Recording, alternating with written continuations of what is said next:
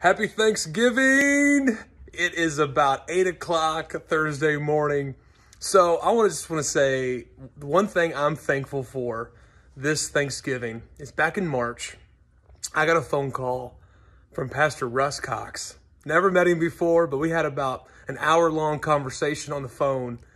And I went home and told Laura, hey, I think, I think this is it. I think this is where we're going. And at the time I was living in Dallas, Texas. And, and so I'm thankful for that was an answer to many, many, many prayers about God opening the door to reveal his next step for our family. And I'm so thankful, so thankful that we are here at New Hope.